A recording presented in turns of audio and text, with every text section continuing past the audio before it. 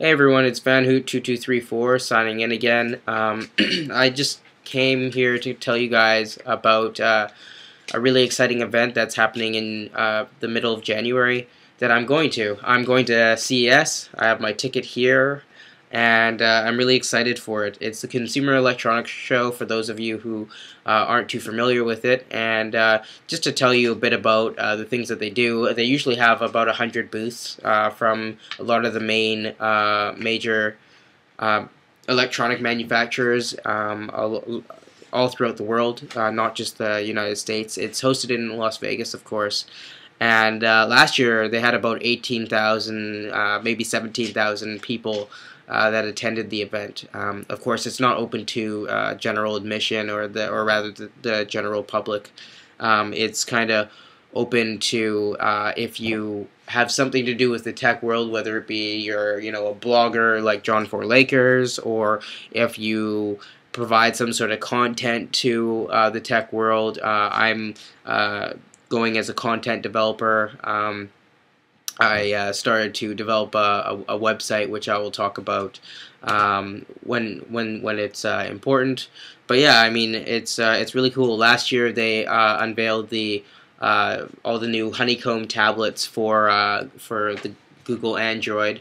Um, also, this year, the things that I'm really excited for is to look at Windows Mango, any of the new developments with 3D TVs.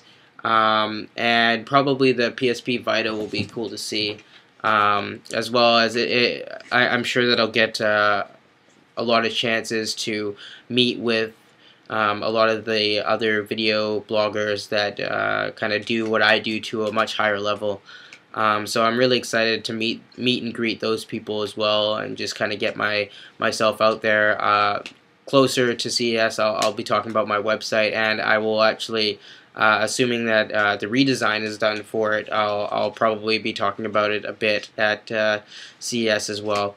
Um, one other thing is, uh, if, if it is possible for me to do it, um, I will try to get some sort of video uh, for you guys from uh, uh, a few of the shows. Obviously, I can't get a ton of video uh, for you guys, but you know I'm probably going to be walking around with uh, definitely my iPhone, and I'll have it fixed by then. If not, um, I'll I'll also have my um, like a like a handheld uh, camcorder as well, and I'll be taking a lot of the I guess the not not every single exhibit, but the demonstrations that I think that are uh, will will attract the most amount of attention from you guys. Um, you know, if there's any specific booths that you guys want me uh, to really focus on, obviously nearer to the time, um, shoot me a message or you know uh, even write a comment down below, just basically saying you know hey check out this the Sony booth. Um, obviously you know rumors aren't out yet, but you know if there's something specific that you guys want me to uh,